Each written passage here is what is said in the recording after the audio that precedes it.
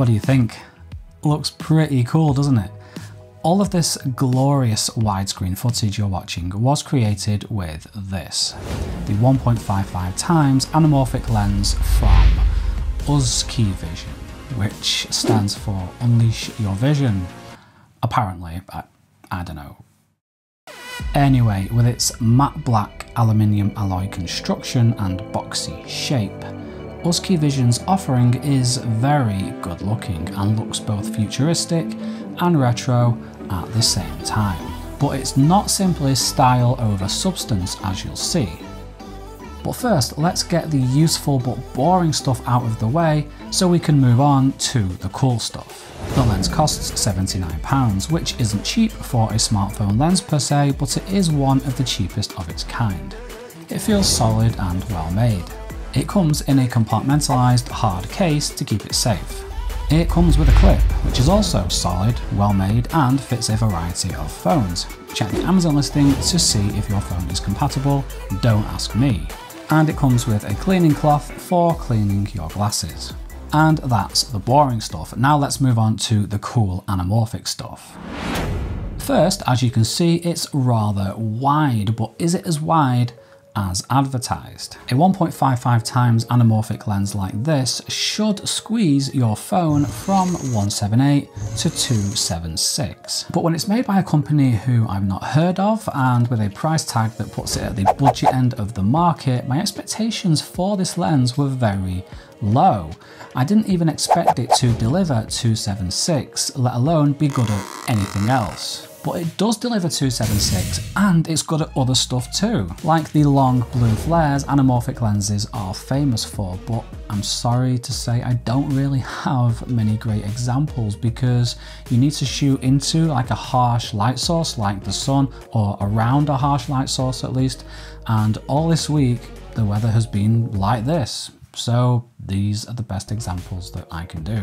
The lens also does something that some people don't like anamorphic lenses for, and that is distort by curving the horizontal plane. But this isn't a fault of USKEYVISION's lens, this is characteristic of all anamorphic lenses and I've seen some people get really hung up on trying to prevent or avoid or fix this distortion in post, but me, I just embrace it, especially after I saw the distortion caused by the anamorphic lenses used to film one of my favourite films, Captain America The Winter Soldier. And hey, if it's good enough for Cap, then wrong arm. if it's good enough for Cap, then it's good enough for me. Something else USKEYVISION's lens does really well is maintain an excellent level of image quality. When you place extra glass over your phone's lens, you will block out some light and degrade image quality. And this lens is no different, but it's hardly noticeable, especially in good light. At the budget end of the 1.55 anamorphic market, I really wasn't expecting the image quality to be this good. And while it does soften the image slightly, it's not to an unacceptable level at all and in fact it actually tones down that overly sharpened iPhone look. And you can always apply a little sharpening in post if you like. But because video doesn't use the full image sensor, it can often hide a lens's edge softness and other artifacts, so taking photos is truly the way to test a lens's performance. This time-lapse was taken with the full resolution of the sensor, and it's here you'd really expect some softness to show. And while there is some softening at the edges, I wouldn't say this was unacceptable or even particularly noticeable to the average viewer at all.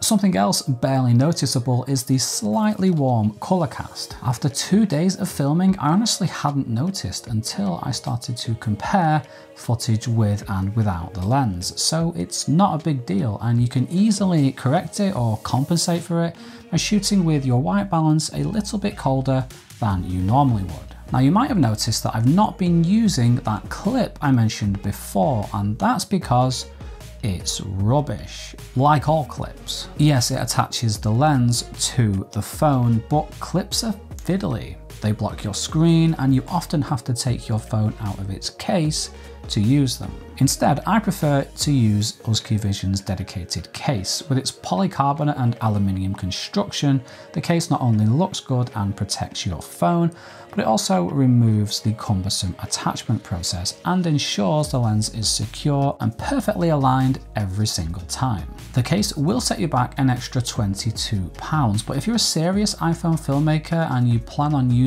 these 17mm mount lenses a lot, then it's well worth it and I highly recommend it.